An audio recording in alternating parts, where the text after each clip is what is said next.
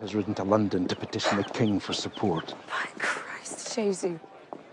What is marriage but a chain around the body, pulling you into the depths? I need independence, and my brother denies me my inheritance. This money from your brother is a phantom, your grace. You must let it go. No. I will go to London and speak to my brother.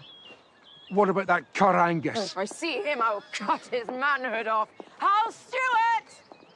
Ready my horses and provisions. We have a long ride ahead.